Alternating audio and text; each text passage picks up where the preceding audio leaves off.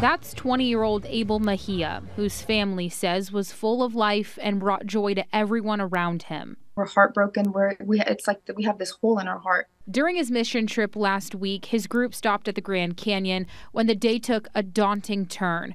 The National Park Service says Abel slipped and fell from the rim about a quarter mile west of the Pipe Creek overlook. Knowing that you couldn't be there for him during the last moments, I think uh, is probably one of the hardest things just because he was my little brother. Mejia was a freshman at Indiana Bible College, his university posting to Facebook about his death, saying he was known for his warm smile and gentle spirit.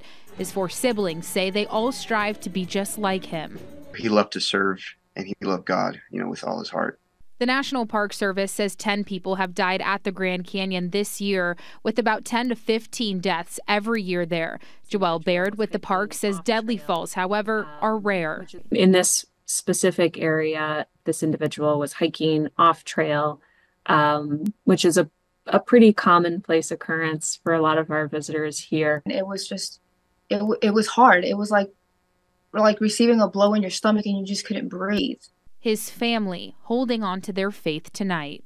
Knowing that, you know, he passed doing what he loved and serving God with everything, um, you know, does bring, bring, it does bring comfort and, and peace to us as, as difficult as this may be um, as tragic as it may seem. Now, Abel's family tells me they're getting a lot of support from the community and their church, which is helping them make it through. In wake of an incident like this one, the park is asking all visitors to stay six feet back from the rim and stand behind railings at overlooks. In the newsroom, I'm Holly Bach for Arizona's Family.